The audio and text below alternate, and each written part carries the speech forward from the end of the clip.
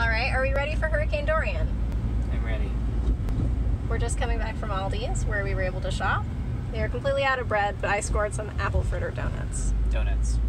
Necessary for surviving anything. Actually, I could live on donuts. I think we'll be just fine.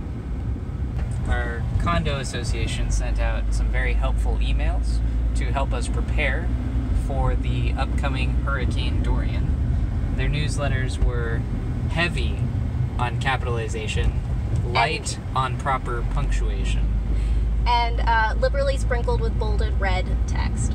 Yeah. Good evening. Imperial Point! This will be comma, capital T. This will be the first of many emails till no apostrophe.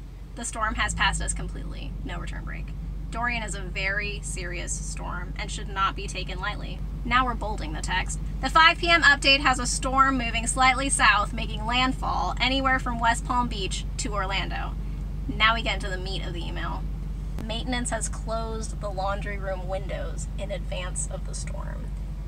Period. Lowercase w. We understand people are still using the laundry room and may need to open the windows. The interim property manager will be checking in on the property because we don't even have a permanent property manager throughout the weekend and up until the storm. Once the storm passes, he will be on property to access, not assess, access damage, clean up debris, and coordinate with vendors, improperly spelled, trying to get life back to comma no space normal again, period. Back to common, normal, no space. Period. Oof. Have we done anything else to prepare for the hurricane? No. We, false, we bought a new umbrella.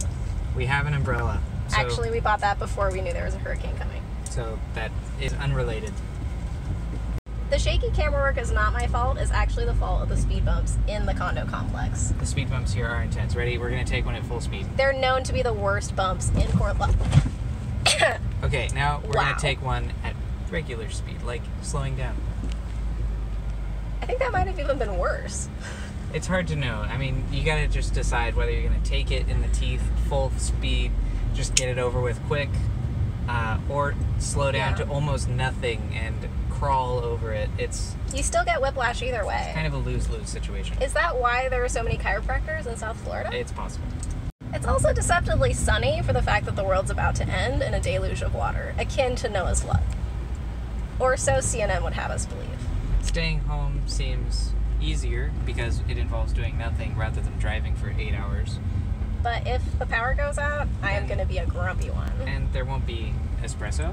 Oh no. There won't be frozen goods. Oh no. There won't be the ability to make warm or hot food. Okay, let me list out what Liam's And- gonna miss.